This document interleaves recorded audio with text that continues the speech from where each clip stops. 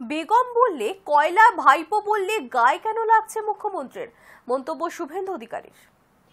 উনি গায়ে লাগছে কেন? কয়লা ভাইপো বললে বলছে অভিষেক ব্যানার্জি। বেগম বলছে বলছে মমতা ব্যানার্জি। ঠাকুর ঘরে কে? আমি কলা খাই না। আমি তো ওনার নাম বলি আমি তো কয়লা ভাইপো বলছি। তা আপনি ফুল, মালা, মিষ্টি, কার্ড নিয়ে বেরিয়ে পড়েছেন কেন? আমি তো কোথাও বলিনি। কত ভাইপো আছে? কয়লা ভাইপো বলেছি। তা কয়লা ভাইপোর নামটা ওনার আমি বেগম বলতেই পারি। আমি বেগম বলতে পারি, বিবি বলতে পারি, শ্রীমতী বলতে পারি, বৌদি বলতে পারি, জেঠিমা বলতে পারি, কাকিমা বলতে পারি, পিসি বলতে পারি, বুবু বলতে পারি, ফুফু বলতে পারি। সেটা যে মমতা ব্যানার্জিকেই বলেছি, তার গ্যারেন্টি আপনি দিতে পারবেন? বলেছি কোথাও।